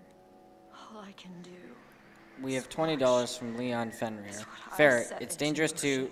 Whoops, wrong game. Take my money and trash cage. It took all I had left in me just to bring you here.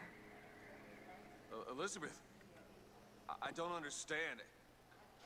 I heard you screaming. I was, I was coming to get you. Are we? Here. Take my hand. Booker, catch. Too soon.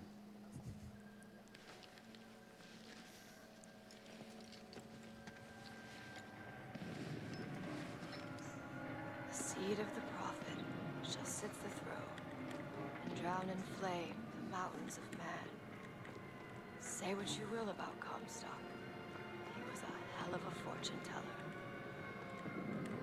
But So Elizabeth has an interesting hitbox, which it's possible to get on top of by just walking into her. It doesn't actually save time, but it's kind of fun to do since you just have to wait for her to stop talking anyway. Nice. Stay up there. It's easy to get up there, it's hard to stay up there. He always stops you. Yes, but I would find a way. No. It's too late for me. I brought you here for your sake. I got a little bit up. Yours and hers. Here. What is That's the cage. It's for her. She'll know how to read it. Old, old Liz knows to pick the cage. What's it say? It's advice. Advice on what? How not to become me. Team 12. So that last Death Warp both uh, saved some time by getting to the retest dialogue a bit faster, and it also uh, brought me back up to about two-thirds health, where normally at the end of that area you'd be at close to zero health. So that allows you to do a speed boost through here without having to worry about dying to these enemies.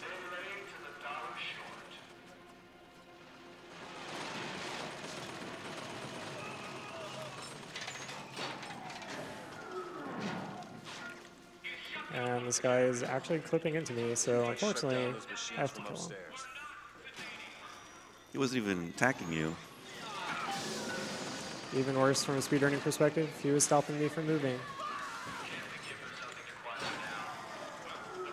So after you pull this lever, you become invincible and are no longer able to take damage after a short delay. So every time the screen shakes, the same as in uh, Monument Tower with Songbird, you slow down.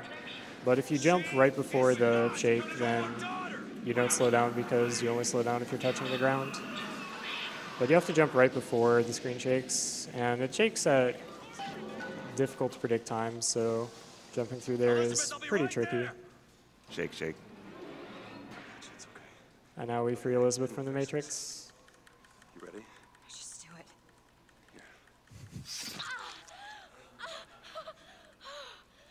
There is no spoon. Subtitles are fun. Help me with this. I think someone meant for you to have this. What is it? Just read it. Your dream of New York happens. I'd like to take, take this time to thank World 9 Gaming. World 9 Gaming is the premier computer and console gaming provider for events across the Midwest since 2005. Dedicated staff, tournament expertise, and expensive, expensive collection of games and consoles.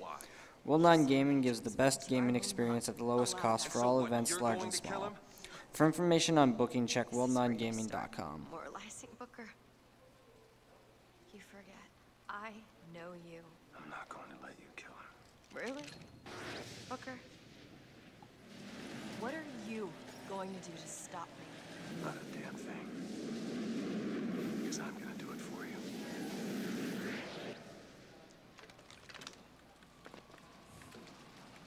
Time to find the prophet. Comstock Zeppelin's outside. When did you learn that? I've been here for a while. How long? Long enough. Ready. Booker smash. Everything here is a cipher that I understand except for this symbol. It's a cage. Did she say anything about this?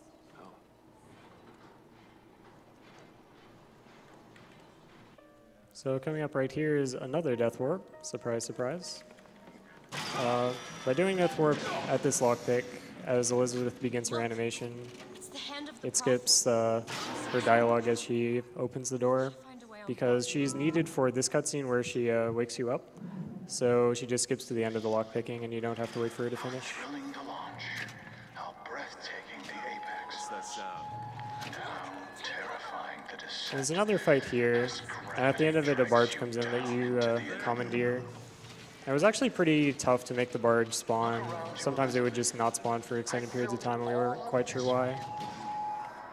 But Reelink figured out a consistent way of making it appear, so shoutouts to him. He's done a lot for this game. And I just remember that I have tunnel vision, so I should be doing this. Oh, right. It actually works pretty well. Good gear is bad. Pretty sure that's not the phrase. Close enough. He's got a quick scope everything.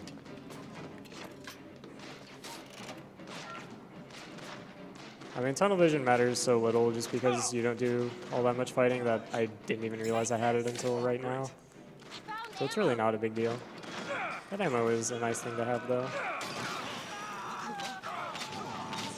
can take us to the hand of the prophet. Uh, where's the last guy? Salt's here! I Booker, catch. I don't want your salts right now. So Too bad, guess, catch them. I guess you can call me salty.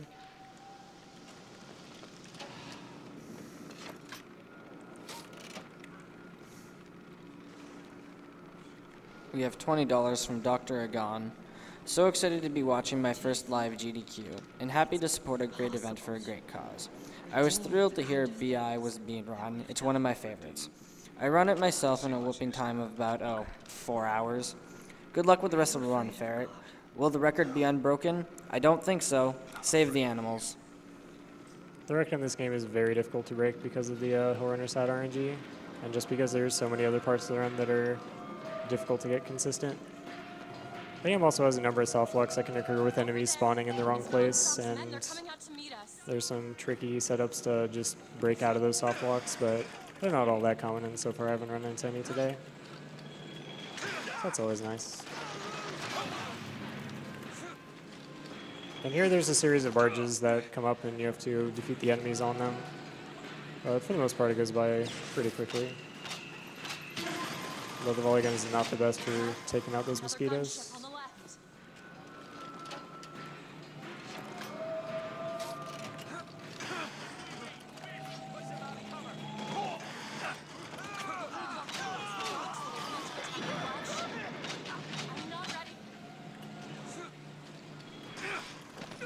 We have $50 from Max34. It's pretty easy to get addicted to watching these amazing speedruns. Before I can even get a hold of what just happened, Ferret does another awesome trick. Thanks for keeping up the great commentary and skill. Go GDQ. Just gaming god things.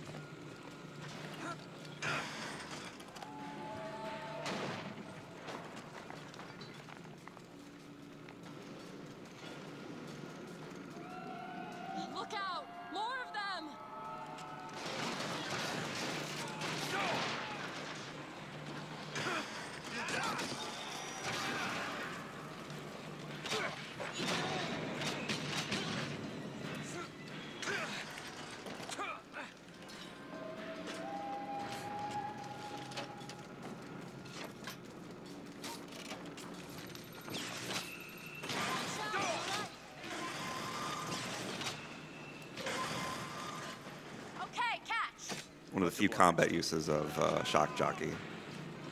Yeah, it's useful against uh, pretty much just motorized patriots and mosquitoes because those are the mechanical enemies that you have to face.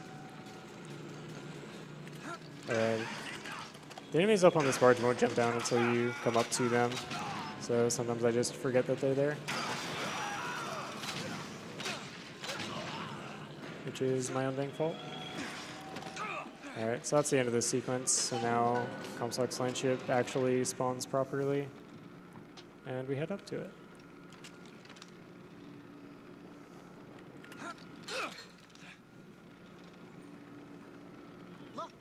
And this is going to be the last area of the game up until we get to the epilogue, and there are some fun tricks you can do along here. We found some ways to get on this roof up here and further up, but unfortunately we haven't found any way to make that useful just yet. There's still quite a few areas that we think is possible to get past, and we have some ways to get out of bounds and mess around with, but we haven't actually found ways to make it useful further on. But this game is ripe with so many areas that just have skips that are just a hair's breadth away, and we need to make that one last jump. I mean, since this game got accepted to GDQ, there was a, a, a lot of interest around finding more glitches in it, and we've shaved maybe like seven or eight minutes off the record in just the past two months. So we've made a lot of progress recently. And by we, I mean other people because I don't really do all that much glitch hunting, but major shoutouts to uh, Stoic Squirrel and Relink who have done the brunt of the work on that end. They are half the reason I'm able to do the things I'm doing today.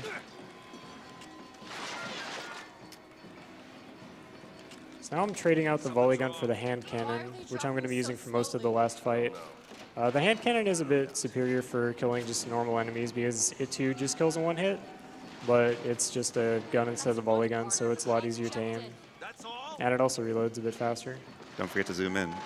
Exactly. Uh, Zim, I need you to do that one timer thing. I turned my phone off. Uh, look at the run timer or something. I have a watch. That works. That works. It was 24 seconds? Yeah, 24. Cool. So you're unable to go on the next uh, line of skylines until the motorized patriots are done being moved off of them. And I'm going to use a, uh timing cue based on a line of dialogue. So tunnel vision now actually matters because the uh, hand cannon is no longer one hit kill with a body shot. So I'm gonna have to aim down sights a bit more than I'm used to. Three quarters. All right, start the timer now. Okay. 24? Uh, tell me when it's 20.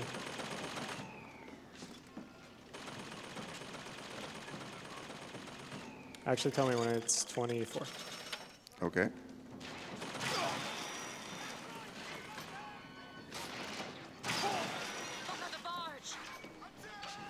Twenty-four. All right. And Skyline just cleared. Thank you, Zach. You're welcome. Sorry, I failed you, Ferret. I think having your phone off is probably a good thing, all things considered. Alright, so now we're going to set up for Prophet's Cabin skip, which is a pretty fun skip, which involves getting to the final fight area earlier than I should. And this enemy is not letting me charge to him for some reason. Oh well. This is going to be yet another death warp, so I want to get my health a bit lower. Now, This one is actually pretty difficult to set up, so I need a bit of serious time. So this skyline appears once you jump down on that floor down there, and there's a door down there that you're supposed to go into, but I'm actually going to be opening that door from the wrong side. So if you head down here, you can clip inside uh, Comstock's main cabin a bit earlier than you should be able to.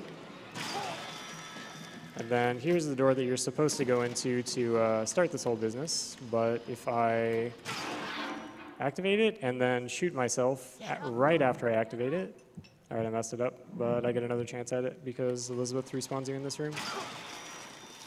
Uh, what you need to do is you need to do the death warp as you're in the air after you activate the door, and it's pretty dang tricky to get the timing down. Unfortunately, due to some randomness in the way that the RPG damage works, I wasn't able to get the suicide off in just five rockets, so unfortunately I can't actually do it. Wait, she was on the other side of the door. She was, and so was I. This is my tower. So the objective with that glitch was to uh, respawn inside the door opening animation of this door, and that for some reason changes your character's properties so that you are able to walk through doors and characters like Elizabeth. But unfortunately, I didn't quite get it, and it would take a long time to set it up again, so we'll have When to save that for another day. used to be able not just to open tears, but I could create Uh, the actual time saving part of that isn't until later because there's a door that you need Elizabeth to lockpick, but if you get that glitch right, then you can just run through it without having to wait for Elizabeth to finish her dialogue and become available for lockpicking. Stand back. I'm ending this. Booker, no. This is between me and him. Walking into a trap. I need to do this.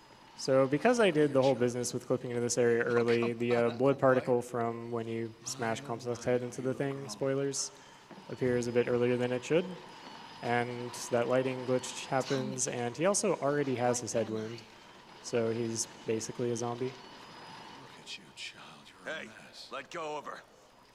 Elizabeth, everything I've done, I've done to keep you safe. Safe from what? The seed of the prophet shall sit the throne and drown in flame the mountains of man. I'd like to take this time to thank Capcom, another one of our sponsors. The Mega Man Legacy Collection is 16 games in one. It has Mega Man 1 through Mega Man 6, he shall be as redone in HD finish with the retro 8-bit style. The Mega Man Legacy Collection is available on the PS4, the Xbox One, and PC. It's coming this summer, and 3DS will be coming winter. all of that to keep The price will be $14.99, and it will include new challenge mode that remixes levels from the first six games to give a new type of challenge to fans. This mode has what happened to leaderboards. your finger. Ask DeWitt. She's your daughter, you son of a bitch! And you abandoned her! Was it worth it? Huh? Did you get what you wanted?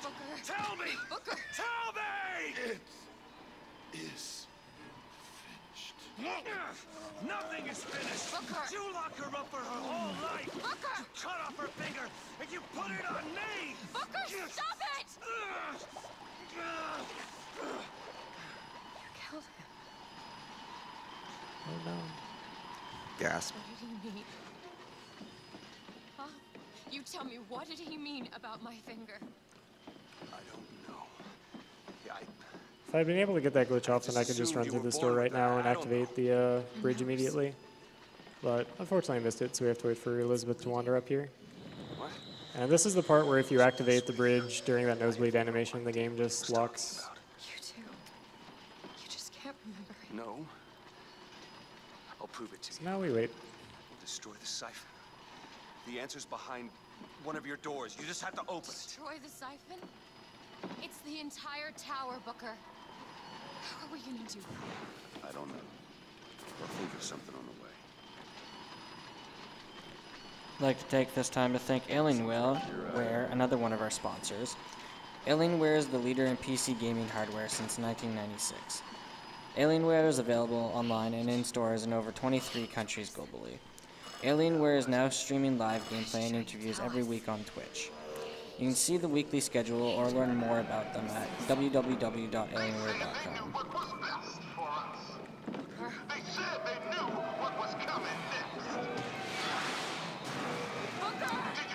She makes a nice platform. She does. Uh, we actually used to use the fact that you bounce off Elizabeth's head to do a much, much more difficult version of the factory skip back in Finkton. Was very difficult.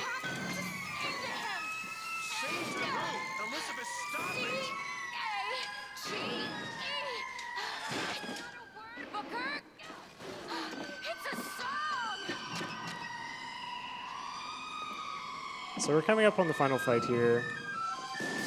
Uh, it's basically just, uh, I think, seven waves of enemies that you have to kill in sequence, and figuring out how to do it quickly is actually very difficult because they all have different triggers for how they start and how many enemies appear. So we had to figure out which enemies to kill, in what order to kill them, and even how quickly to kill them to prevent more from appearing and to make sure that each wave smoothly goes to the next. Uh, it's definitely the most difficult combat portion of the run, and it's really one of my favorite portions because there's so many parts to it. We're going to start off with what is basically a Hail Mary shot.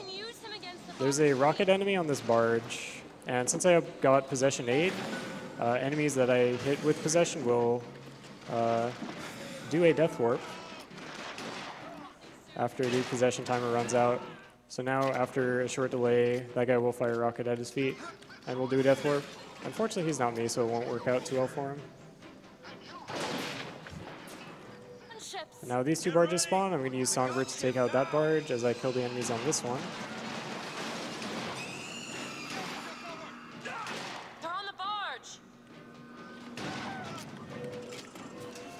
Then this thing spawns and starts shooting off. But a few shots, it's gone. Thanks. Refill some salts. And now enemies spawn on this barge and another one, which is going to be to my right.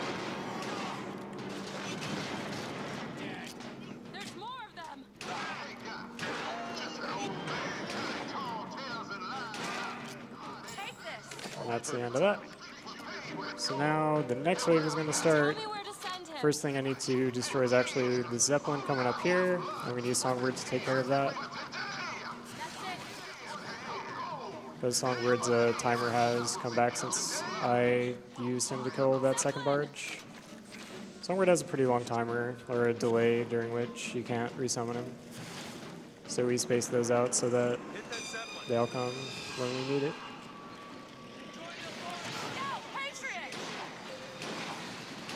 Now, the tricky thing about this fight is that you actually need to kill the last motorized Patriot um, after killing all the rest of the grunts. And the reason behind that is that if you kill the last Patriot while one of the grunts is still alive, then a second wave of grunts will spawn. So I need to take out those before we finish off the Patriot.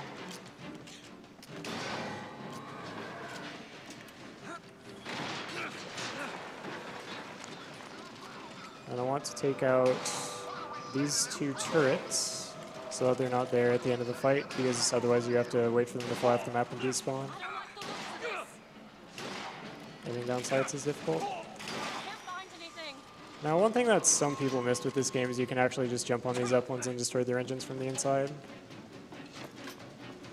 And there are still two more Zeppelins I need to destroy, so I use Songbird to take care of one, and I do this to take care of the other that, you want Songbird to take care of these because this is like the, the longest thing to do. I was going to take this opportunity to grab the ball again once more.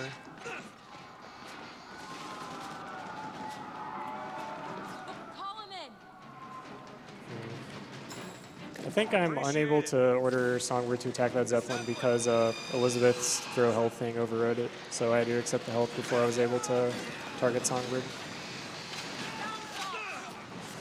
And this wave is the last wave, and it works similarly to the other one with Motorized Patriots, where if the Patriots are destroyed before all the Grunts are dead, then you have to deal with an extra wave of enemies.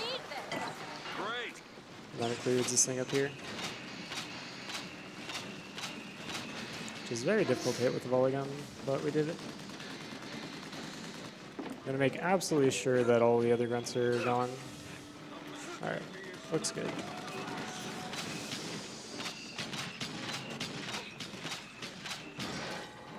And hopefully that will be the end of the fight. Appreciate it. Yep. Alright. Sometimes this statue can take a very long time to spawn in, but fortunately decided to just do it right away. Uh, where is Elizabeth? Okay. Elizabeth likes to take her sweet time getting places. She'll make it.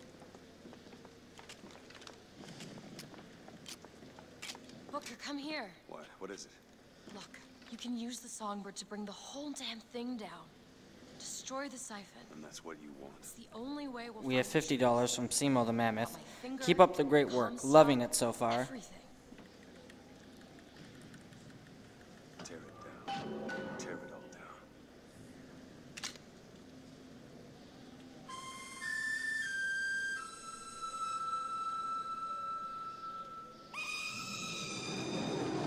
$50 from Daniel30.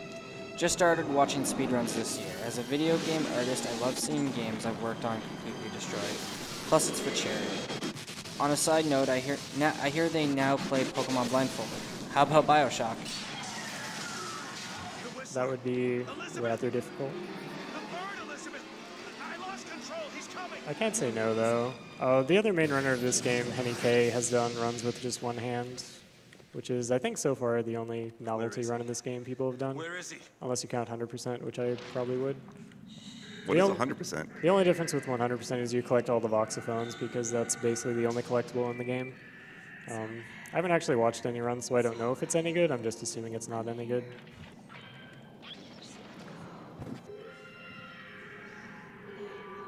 Rest in peace. Aw. Sad music. Now we're in Rapture.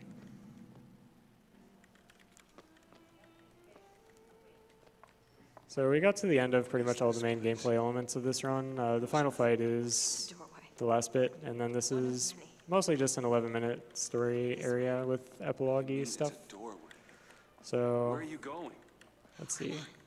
Yes, it's this way. Uh, I have to thank some of the guys that worked on this run. Uh, Stoic Squirrel and Relink are the two guys that did a lot of glitch hunting. Uh, they don't really do runs, but they found a lot of out-of-bounds skips and sequence breaks and elevator skips, and they're absolutely instrument, instrumental to what this run is. So, major thanks to them. Also, major thanks to Henny K. He is a German speedrunner, and he's my main competition for this game right now. I have the world record with a time of 1 hour, 49 minutes, and 7 seconds. And I was doing that run pretty much simultaneously with what turned out to be Henny's PB. And his time was 1 hour, 49 minutes, and 9 seconds. So we finished runs two minutes apart with PBs two seconds apart. And those are still the two fastest times of the game so far. And he's planning on doing some runs uh, pretty soon. So if you want to see more runs of this game, uh, I'm probably going to stop running it until my record is beat. So watching more runs, you should go to twitch.tv slash hennyk, H-E-N-Y-K. He is a great runner. Thousands of doors. Opening all at once. My god, they're beautiful. The stars. Have you ever managed to lose a run past this point? Not a good run. I've definitely run into soft locks and time wasters, but I don't think a world record pace run has been ruined by anything in the epilogue. It's this way. Come on. The epilogue is basically just follow the points and don't dilly dally. We haven't found any strats that actually save time in this area, just stuff that loses time. So this is definitely one of the areas of the game that we would like to uh, accelerate a bit. Fully control it. I, I thought What is that? it's a key. This 11 minute section also has about three times as much story as the entire rest of the run. So if you came for the story, here's that part. You give us an explanation of the story. Oh, goodness. Quantum mechanics and stuff. So, I guess we have time. Uh, there are two major timelines. Um, I'm going to spoil what is about to happen in like the next 10 minutes, so don't worry about it. Uh, there are two major timelines. The breaking point is when uh, Booker DeWitt chooses to either accept or refuse a baptism, which is uh, after the Battle of Wounded Knee, in which he participated. Uh, in the timeline where he accepts the baptism, he becomes Booker DeWitt. He runs up some gambling debts. He has a daughter. I wonder who that might be. And that he runs up debts and eventually accepts a deal to get out of his debt, which will become clear a bit later. In the other timeline, he refuses the baptism. Oh, wait. He accepts it. Yeah, refusing the baptism results in Booker DeWitt. Accepting the baptism results in him taking on the new name of Zachary Comstock. Oh no. So Zachary Comstock is actually you from a different timeline. And that Comstock teams up with Rosalind Lutece, who creates quantum technology that allows you to peek into alternate universes. And Robert Lutece is just an alternate universe version of Rosalind Lutece. And they work together. Um, by looking into various tears and such, Comstock is able to pilfer technology from other timelines. And by looking at Rapture, uh, Fink figured out how to make Songbird and such like that. So similarities between the games is basically explained by Comstock was able to see Rapture and copy stuff from it.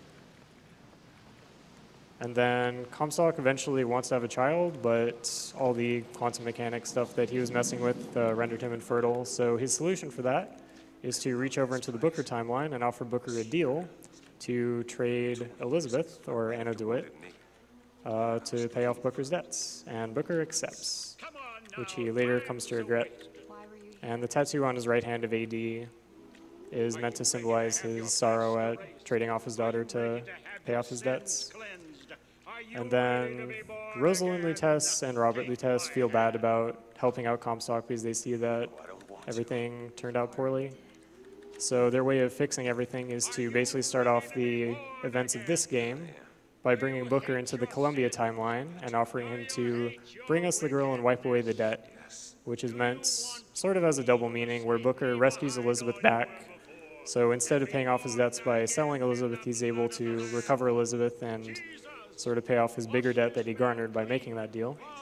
And it also pays off what Rosalind and Robert think are debts by helping to fix the timeline and preventing Zachary Comstock from ever coming about, and thus preventing Robert and Rosalind from helping him in his dastardly plans. And I think that's the entire story. I think it's rather well told. I quite enjoyed this game. Enough to play it, I don't know how many hundreds of times now.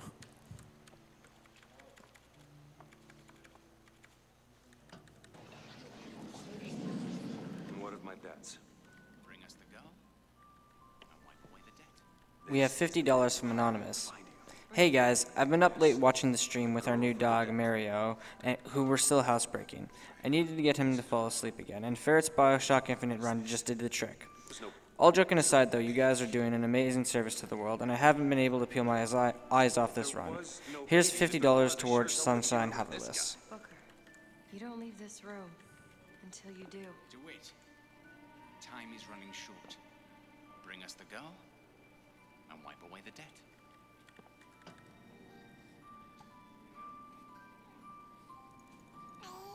Go ahead. No. You can wait as long as you want. Eventually, you'll give him what he wants. And now, as is tradition, we shake the baby. See all the doors, and what's behind all the doors. And behind one of them, I see him. Comstock. What choice do I have? The debt's paid. Mr. Comstock washes you of all your sins. Bring us the girl and wipe away the debt. There was no baby. The deal was I go to Columbia to get you. Booker, they're bleeding. Oh. Remember, like to take this time to thank the Humble Bundle, another one of our sponsors. Humble Bundle offers pay what you want bundles that support charity. Humble Bundle offers bundles for video games, mobile, ebooks, comics, and the Humble Store. Humble Bundle has raised over $61 million for charities such as Doctors Without Borders and many more. You can go to www.humblebundle.com to take a look at them. He is alive in a million, million worlds. It's not over because the prophet is dead. It will only be over when he never even lived in the first place. Hey. Hey, the deal is off, you hear me? unstable. The deal is off! Give her back! Give her back! Fine, are you mad? Give her back, you son of a bitch! It's ready! Go! No! No, no, Shut no! down the machine! No! Shut it Ah! down! Shut down the Ah! machine! Now do it! Give me back my daughter! No! I'd like to take this time to thank the Yetee, another one of our sponsors. The Yetee, today's tee for your torso. The Yetee is supporting Games Done Quick events with tee since 2012. $3 from every $11 tee is donated to Doctors Without Borders. Special thanks to the art- amazing artists who donated their amazing talents. Special thanks to artists Mark, Carrie, Cassie, Tanya, Logan, Drew, Tiffany, and Nina for donating their artwork. Man came to you, offered you a chance, a redemption. A chance for us to be together. All right, time is going to be in about another minute or so.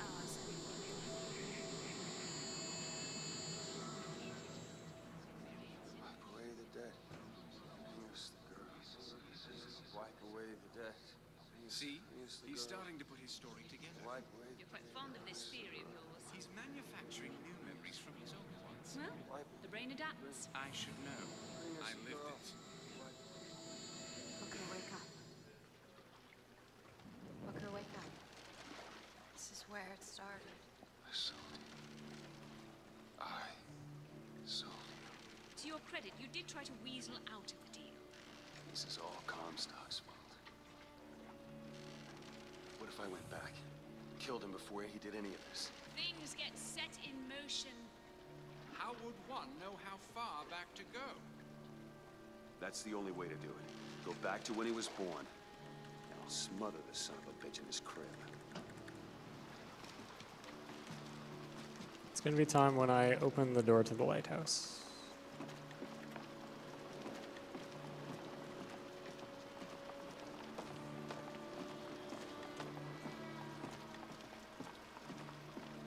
And time.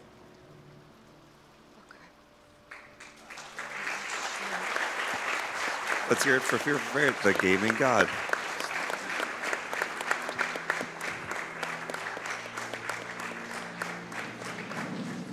Alright, thanks so much for watching. This completes the Bioshock trilogy at GDQ Games, so I'm very glad this got in and I was able to show it off. Isn't the same place, Booker. Of course it is. I remember. And now the very moving ending. Who are you? You chose to walk away, but in other oceans, you didn't. You took the baptism. You were born again as a different man. It all has to end. To have never started, not just in this world, but in all of ours.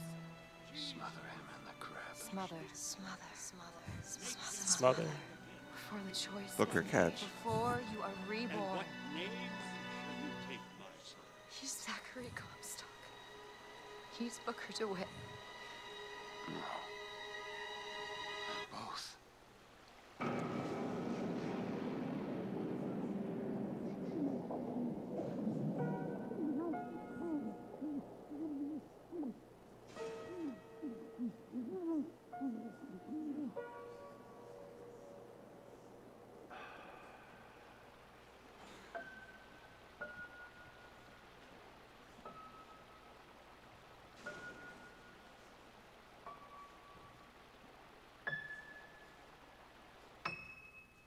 Alright, thanks for watching.